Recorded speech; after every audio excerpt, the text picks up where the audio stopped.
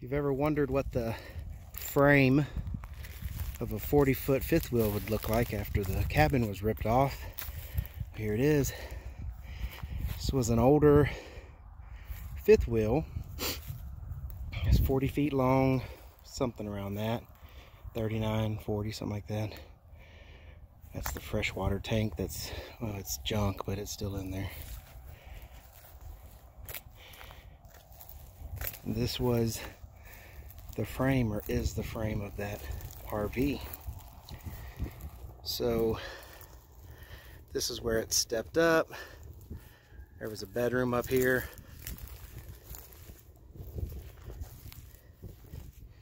It's the fifth wheel hitch. This uh, storage area here had an AC unit and where you could put propane tanks.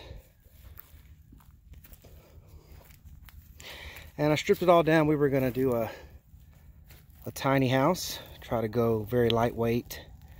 It had three 3,500 pound axles.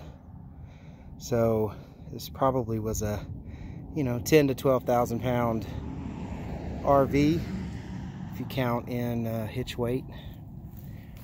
But uh, they're pretty sturdy mounts. I've got some 7,000 pound axles that I was going to bolt under here and have two sevens. And uh, like I said, go lightweight with it. We were thinking on a more of a cabin style tiny house. But um,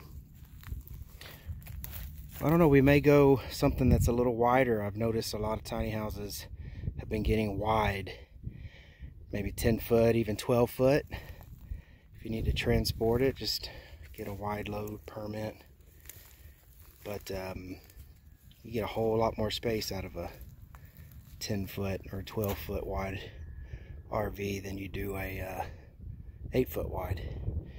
There's a set of 7,000 pound spring axles, 7,000 pound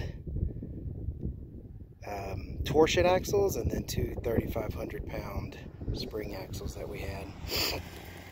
So that's it.